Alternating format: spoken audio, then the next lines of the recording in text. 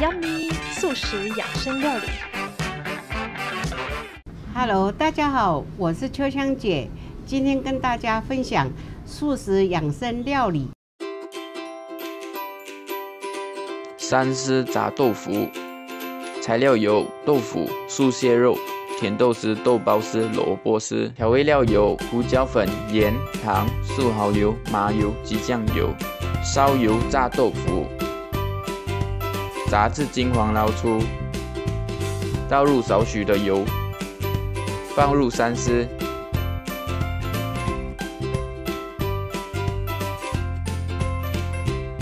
稍微搅拌，随后倒入水，放入调料，随后放入素蚝油及酱油，翻炒均匀，摆好豆腐盛出即可。简单又美味的三丝就完成啦！本期节目已到尾声，感谢你的观看，别忘记按赞、订阅以及分享哦。